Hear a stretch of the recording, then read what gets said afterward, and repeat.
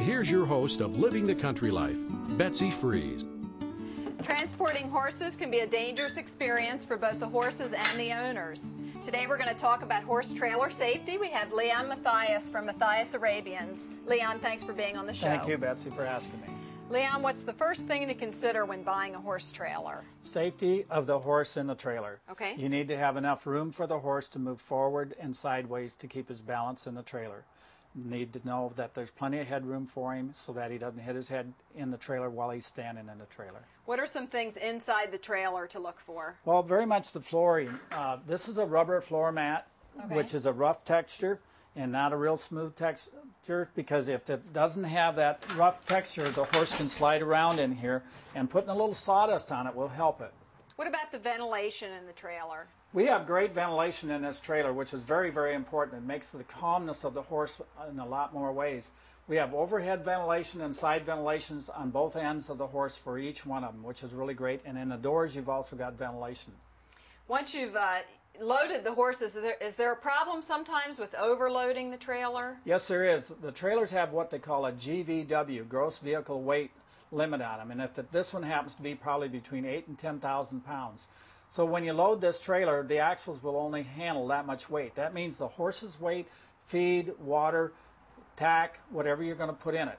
Don't overload it. If you're going to overload, go to a bigger trailer. Now, what about the hitch? The hitch is something very important. It's a ball hitch. This is a gooseneck trailer, which you set the gooseneck down on the ball hitch of the truck. And when that latches down, you have to latch it. That's very important. Then you have two chains that hook, which is a chain for in case it's a breakaway, it will still hold it. If those chains break, you have a little small cable that comes into effect. And when your truck breaks away from it, that cable puts the brakes on on the trailer so it won't roll down the highway. Now, backing up a trailer is always tricky for me. Can you give me some pointers? Oh yeah, backing up. Once you learn how to really do it, you want to watch your mirrors. Take it slowly. You may have to ride the brakes a little bit, but take it very slow and easy, and try and have somebody else there to help you so that you don't run into something or somebody comes in behind you unknowingly. So, Leon, now we're going to uh, demonstrate how to load the horse. All right, one of the first things, though, Betsy, I want to tell you about is the lead rope. Let's make sure it's a cotton rope, not a nylon rope. If the horse pulls back, it could burn your hands and blister it. Or if not a cotton rope, use a leather strap. It's Okay. more cautious for you. You don't want to wrap it around your hand either. Don't wrap it around your hand or something because if it gets caught on something, it's going to jerk your hand out. Let it slide. If nothing else, you're better off letting the horse run free as you get hurt. If you want to hold the horse, I'll go ahead I'll and open that. up the trailer a little bit so All that right, we get great. ready to load this horse. We had the back tailgate already open, but we got to open up this side panel. And this is spring loaded, so it'll hold it over for us. And we'll put that there. We've got our tie in there already, so we're ready to go ahead and load the horse. All right. and let him know how he's going to come in. Ask him to come in, soft and easy, and let him know that he's doing good. Walk him up and hook him. I use a quick release snap on this so that the horse, in case something happens, it's called a panic snap, that he can get away and I can get him out of here. And then when I get done with this, why I'm going to walk back and make sure the horse isn't going to pull back, keeping my hand on the horse's hip so that he doesn't push back on me. Then I'm going to close this and ask him to move over a little bit and push it closed very tightly there. I wanted to make sure that his tail is out of the way when we're doing that. Right now I'm going to pull on that and make sure it's secure and it seems like we're secure so we're ready to go down the road.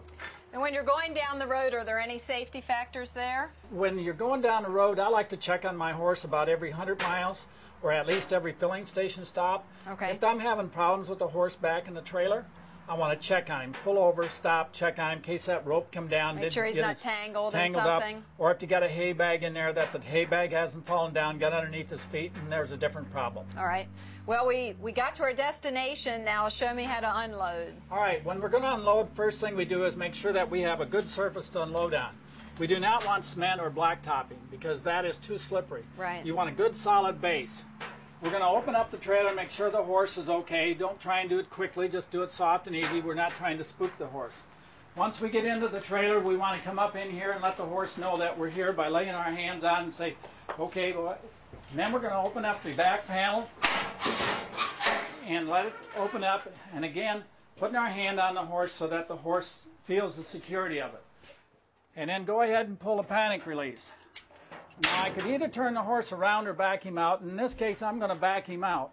I'm going to take my time and let him come back out on his own. I don't want to force him. I want him to take it easy so that he doesn't hurt himself or anything. He'll move over, down he'll go. See, you can get in a little trouble there, but he kept his balance soft and easy. And then we're on the ground. It's doing a great job.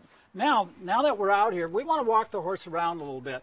If we've gone a great distance of time on the road or something, we want him to loosen up his muscles a little bit as a last precaution. Right. Thanks, Leon, for sharing this information. Thanks, Betsy. Transporting horses can be an enjoyable experience if you follow the safety precautions.